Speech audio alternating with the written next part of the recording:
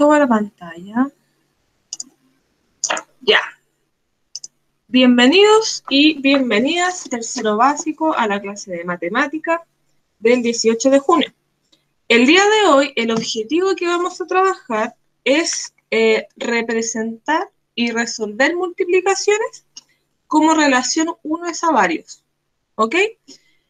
Bien, chiquillos, nosotros hemos trabajado en las clases anteriores la multiplicación, como por ejemplo, cuando la clase anterior trabajamos eh, la multiplicación por agrupaciones o la multiplicación a través de arreglos rectangulares.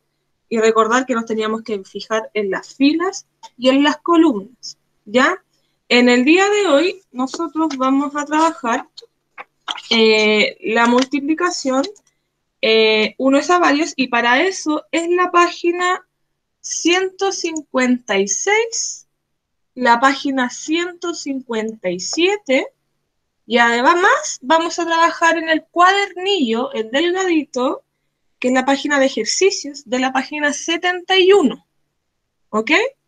En primera instancia voy a realizar la explicación de estas páginas donde aparece... Eh, lo que nosotros vamos a ver hoy. Luego, recordar, dejo de grabar y empezamos a trabajar. ¿Ok? Entonces, dice así. Multiplicación, uno es a varios. Acá tenemos una situación donde hay niños que están celebrando en el colegio el aniversario. ¡ah! y para poder animar el aniversario, tienen que construir plumeros. Entonces están ahí súper animados, hurra, hurra, eh, eh, eh, equipo, azul, equipo naranjo, eh, eh, eh, ¿ya? Entonces, para la construcción de los plumeros, necesitan, según lo que ellos calcularon, seis pliegos de volantín, solamente para un plumero, seis pliegos de volantín. De hecho, lo vamos a destacar para construir un plumero, seis pliegos de papel volante. Ya, este es un dato importante.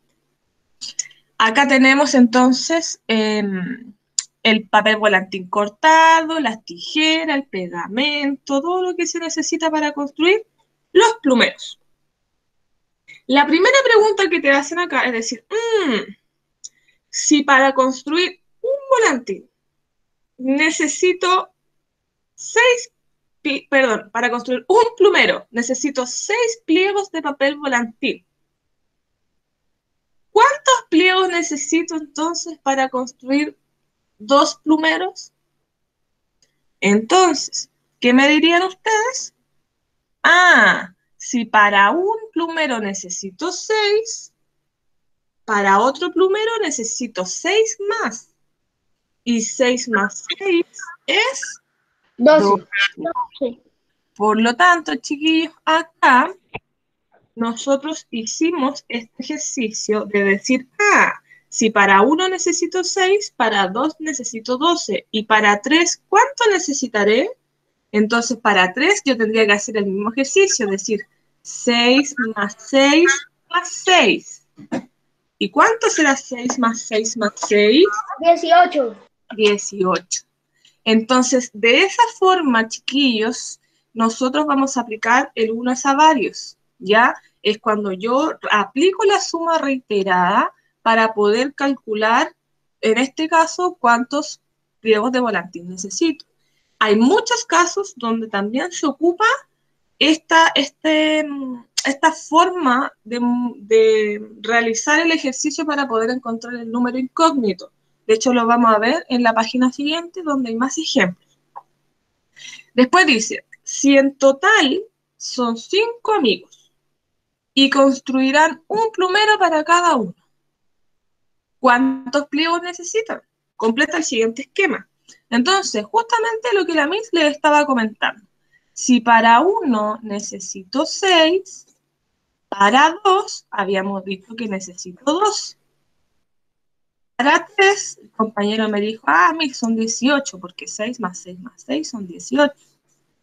Y para 4, ¿Cuánto es? 24. Muy bien. ¿Y para 5? 30. Entonces, lo que hizo el compañero y lo que ustedes tenían que hacer también en su mente, mis pequeñitos, es ir sumando el número 6. Esta cantidad de veces. ¿Ok? Esto es lo mismo que decir 6 veces 1 o 6 por 1, 6. 6 veces 2 o 6 por 2, 12. 6 por 3, 18. 6 por 4, 24. 6 por 5, 30. Acá, sin darse cuenta, pequeños, ustedes completaron la tabla del 6 hasta el 5. Entonces, esto, chiquillos, es lo que nosotros vamos a trabajar hoy. De hecho, vamos a trabajar en la construcción de algunas tablitas, eh, porque es importante que ustedes construyan sus propias tablas. Las matemáticas y las multiplicaciones no son de memoria, sino son de entender el por qué. ¿Por qué es, es 6 por 4, 24? ¿Por qué 6 por 5 es 30? No es porque sí. Hay una, una lógica, una razón detrás. Y esa razón detrás es la suma reiterada de números. Y en este caso, la suma reiterada del número 6. Entonces, de esta forma, ustedes se van a poder dar cuenta de que van a poder ustedes multiplicar cualquier número que ustedes quieran sin necesidad de quebrarse la cabeza diciendo, ay, pucha, mis, no me sé la tabla del 9. Ay, pucha, mis, no me sé la tabla del, del, no sé, del 7. Porque de la forma que nosotros estamos conociendo ahora, tú mismo la puedes sacar, la puedes ir escribiendo la tabla a través de la suma. Porque sumar, ustedes saben sumar. La suma la han trabajado desde el primero básico. Por lo tanto, la multiplicación no es nada diferente a la suma. ¿Ok? Bien, no es nada diferente a sumar. De hecho, es sumar. Sumar de forma reiterada. Entonces, acá abajito aparece una explicación de lo que les expliqué de acuerdo a este caso. Dice así, cuando un elemento, en este caso era el plumero, está asociado a cierta cantidad de otros elementos, está asociado a cantidad de, en este caso, seis pliegos de volantín, puede relacionarlos con una multiplicación. Por ejemplo, si finalmente quiere construir uno con ocho pliegos, acá nos están dando otro dato. Si yo quiero construir un plumero, pero ahora con ocho pliegos, tengo que hacer la eh, suma reiterada a partir del número 8. Para saber cuántos pliegos se necesitan para hacer cinco plumeros, tú puedes multiplicar, ah. Si es un plumero, 8. Si son dos plumeros, 16. Si son tres plumeros, 24. Si son cuatro, 32. Y si son cinco plumeros, son 40. Por lo tanto, 8 más 8 más 8 más 8 más 8, 40. ¿Sí? ¿Tenemos que subrayar eso? Si usted tiene su libro a mano, hágalo nomás. Vaya subrayando ahí los datos importantes. Bueno. ok, entonces, eh, ustedes pueden decir, ah, ya, y si ahora yo quiero generar un plumero con cuatro pliegos, entonces si es un plumero con cuatro pliegos, aquí tendrías que pensar en cantidad de plumeros y la cantidad de pliegos con cuatro. Entonces aquí uno sería cuatro, dos, ocho. Y así ir siguiendo, la, la tablita, ¿ya? Que sería lo mismo que las tablas de multiplicar. Lo que yo me tengo que fijar es en el número reiterado, en el número que se repite para ir sumando una cantidad de veces que me solicitan. En este caso, me dicen, ah, yo quiero cinco números con ocho pliegos, entonces ahí yo, lo que se hizo fue multiplicar 5 por 8, 8 más 8 más 8 más 8 más 8, 40. Porque recordad que 5 por 8 es lo mismo que decir 5 veces 8. ¿Ok? Entonces, en este 5 veces 8, al sumarlos, nos da 40 pliegos de papel volante para 5 plumas. Acá estaría nuestro resultado. ¿Ok? Entonces, esta situación cambió. De arriba era con 6 pliegos, abajo era con 8 pliegos, entonces ustedes pueden hacerlo con 7 pliegos, con 6, eh, con 5 pliegos, con 3 pliegos, los pliegos que se necesiten. ¿Ya?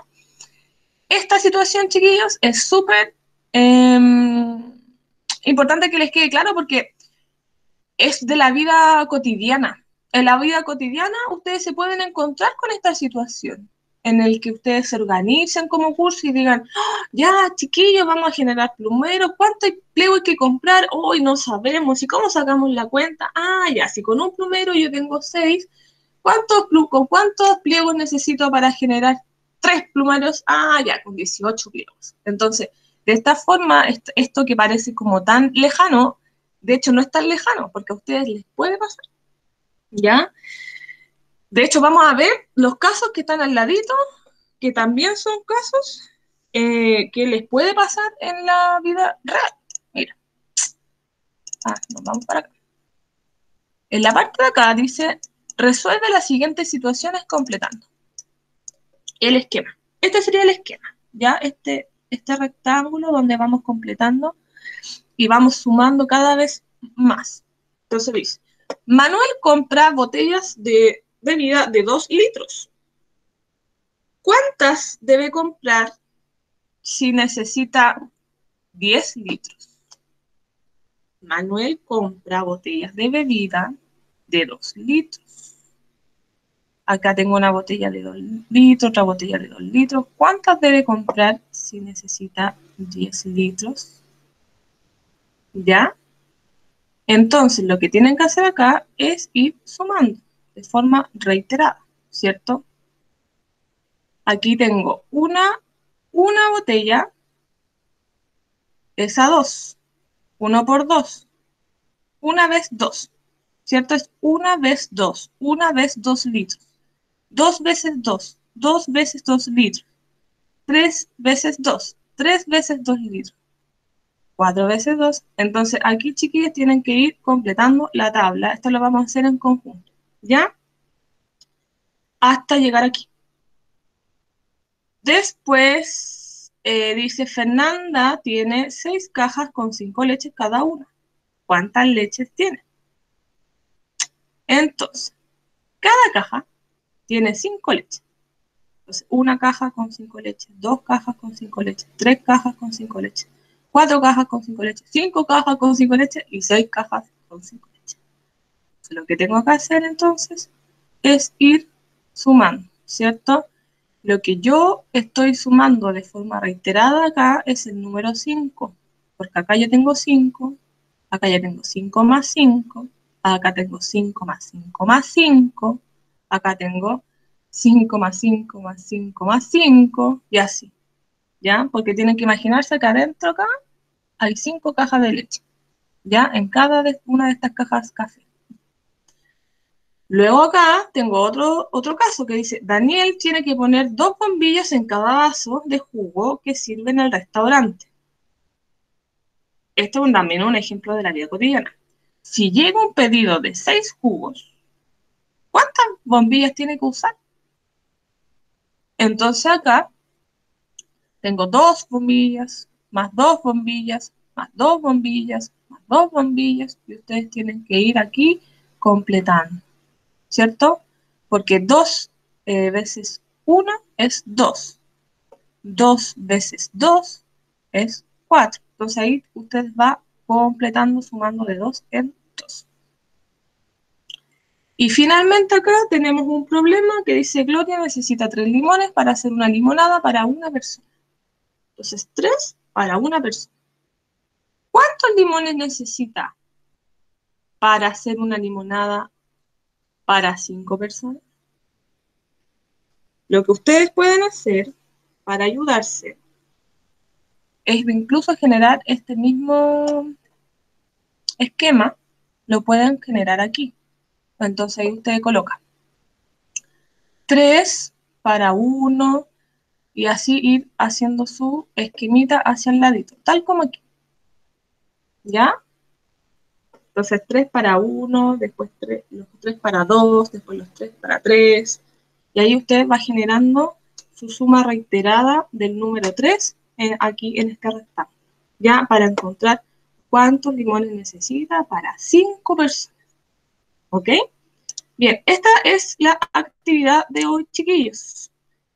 Eso es, es suma reiterada y se llama uno es a varios, porque eh, como ustedes ven, depende de la cantidad que yo eh, tengo y a cuál tengo que llegar, es la multiplicación que yo voy a realizar, ¿ok?